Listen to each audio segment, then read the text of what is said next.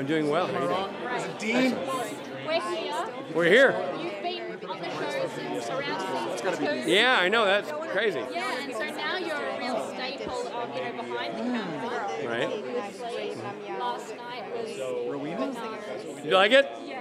Tell me about guitar and how Why is Six Afraid of Silence? What freedom you had and what the pitch was for the People can't stand the guitar. heat, stand at Well. Steve Yockey wrote the script, and the you know when I read the script, I'm like, this this has its own unique flavor here. You obviously have a unique pairings in Dean and Jack, and Sam and Charlie. That's something we don't see a lot or at all. You don't you don't have the boys overlapping each other, so they have their own unique. Like having something separate. I thought, listen, I, I, I know people love seeing the boys together, and I love having the boys together. But it, it's also, you know, they're individuals, and it's fun to watch them do their own thing with unique individuals who the, the fans know and love. So to have Jack with Dean is a whole different dynamic. And to have Charlie and Sam together in the car for so long was, you know, generated really fascinating moments between the two of them. I thought it was really fun and fresh and interesting for the storytelling elements of the show. And I, I loved it, and I think you know it lent itself to. I, I called it like the rom-com episode. There's a certain amount of that Jack Harper Dean storyline that just felt, you know, like Heather's in its tone. Felt like it had a humorous sort of uh, flavor to it, which I loved and leaned into, and everybody was on board. You know, that's how Steve.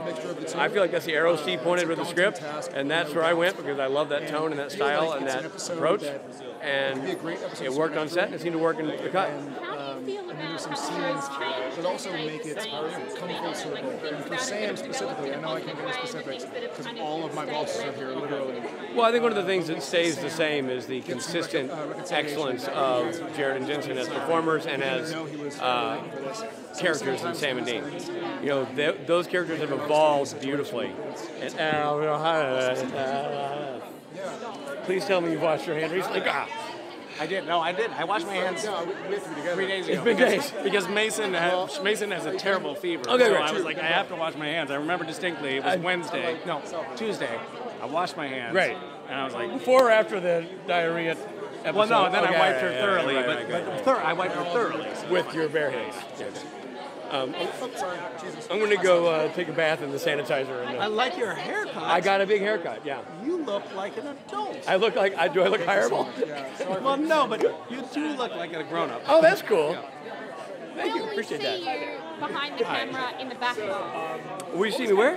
Will we see you directing in the back half of the season? Uh, I- I'm not slated to. I've done my two episodes for the year, so as of now, you know, I get two a year. My one, my episodes were Season five, we episode one, 100 or is episode two, episode six. So so far, that's all it means. And we were joking. I have no idea what he interrupted. I She said, well, I'll see you at the 200 episode. is it- he interrupted with his finger in my nose and mouth. So for a lot of fans, they think this is great. Wow, I wish Misha would put his fingers in my nose and mouth.